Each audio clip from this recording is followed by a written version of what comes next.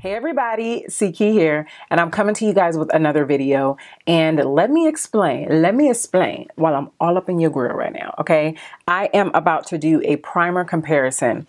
I have been raving and raving and raving about this primer right here and about this primer right here. So as of late, I've been using this primer right here, which is the IT Bye Bye Pores Primer. It's oil-free, poreless, skin perfecting serum primer. So this is the Becca Ever Matte Poreless Priming Perfector. But I already have a review and a comparison on the Becca primer versus the Make Up For Ever primer, okay? So since I have been raving about this primer, a lot of you guys have been asking me, do I like it better than this one right here? And the answer to that question is I love them both equally. Now, the next question that I get is Is it better than this one? I don't know. So, that's what we're going to find out today. So, what the plan is today is to find out if these two hold up the same, how they compare to each other, because I don't know. But since you guys have been asking so much, I'm totally like, I want to find out just like y'all want to find out. So, y'all know what I say. I can show you better than I can tell you, right? And I love to do these videos so you guys can see it and you can make your decision and not just go off of what I say. I am going to apply the IT Bye Bye Pores Primer on this side of my face, the left side, your right. And then I'm going to apply the Becca Ever Matte on my right, your left. Okay. And then I am going to insert pictures or insert video clips of my total makeup look or my complete makeup look after I have everything on. Then after about six or seven hours, I am going to take some pictures and I am going to insert them in this video so that you can see how it held up. So before we move on with the primer application, I'm going to get my handy dandy phone right here and I'm going to tell you what the claims of both of these primers are right quick and then we're going to get started. First off, it says it's for normal, oily, combination, dry, and sensitive skin. It's a weightless, oil-free primer that blurs away pores and provides a smooth, matte finish for flawless makeup application. So yes, it does give you a matte finish. A solutions for enlarged pores, fine lines and wrinkles. And if you want to know more, it says it's developed with plastic surgeons, it's revolutionary, it's pore erasing, it's anti-aging, it's a skin perfector, it blurs the look of pores and fine lines, wrinkles, and uneven texture while hydrating and supporting skin health. I can get with that. I will put the link in the description box so you guys can read the rest of the specs, but it does say it's non-clogging and it's oil-free and translucent. I don't know about translucent because it makes me a little ashy, but I still love it nonetheless. And now let's run over to Becca real quick. Now, Becca Ever Matte Primer is a targeted oil control primer that perfects and minimizes pores for mattified skin that lasts up to 12 hours. It says, it goes beyond extending makeup wear to address the root cause of why your makeup moves. This formula specifically targets oil prone areas and acts as a liquid blotting paper to leave your skin fresh and matte all day. You can use it alone, you can use it before foundation application, or after foundation application to control excess oil. It says feel free to use it throughout the day to touch up areas of concern. I have never tried this before, but it does say that you can use this as kind of like a blotting paper. So throughout the day, as you tend to get oily, you can take a little bit and then you can just, you know, kind of blot it on your face or pat it on your face.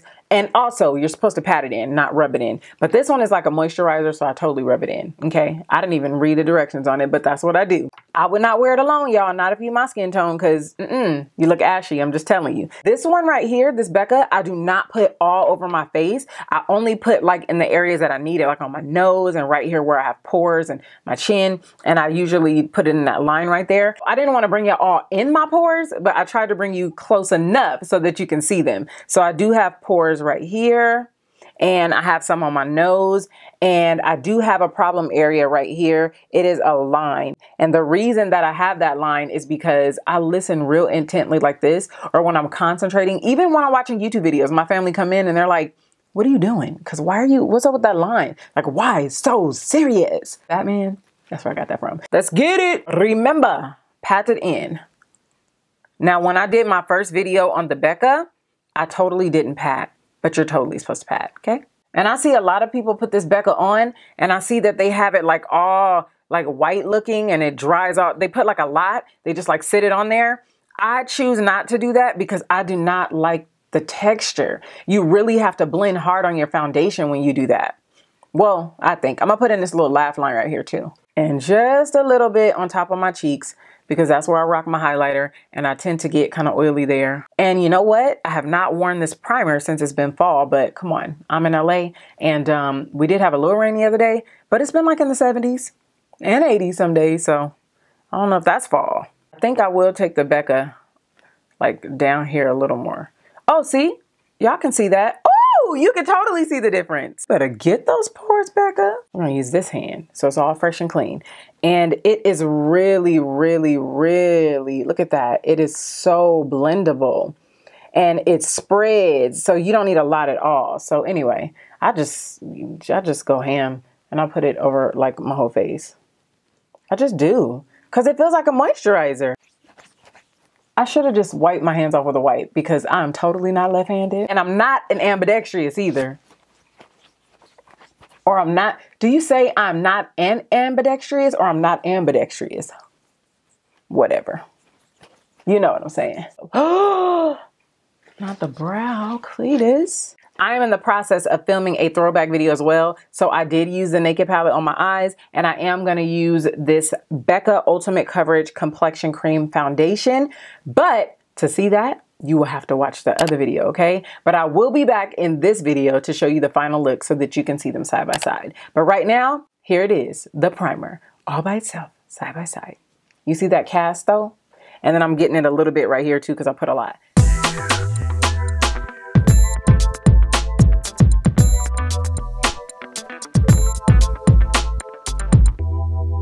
I've had my makeup on for about five and a half hours. I don't know if I made that six hour mark yet, but I am actually surprised. Like I haven't blotted or anything and my nose looks fine. I haven't had to blot anything. Now maybe because it was like 73 degrees today. I think that is the hottest that it got, but I'm still surprised. So I am getting a little oily right up in Chia, but that is it. My nose looks good. Right in here, it's starting to get just a little oily, but I, hey, it's looking good. It was only about 73 degrees here in LA, so that could be one of the reasons, but I am very impressed with both of these. And at first, I took my little mirror and I totally thought that It cosmetic side won. But then when I got all up on the camera to show you guys, I was looking at both of them and it's about the same. So to answer your question, I guess they're kind of equal. I don't know. Even though this is not like considered an ever matte type of primer, you good with this one, y'all. You are good. So both of these babies are the bomb.com.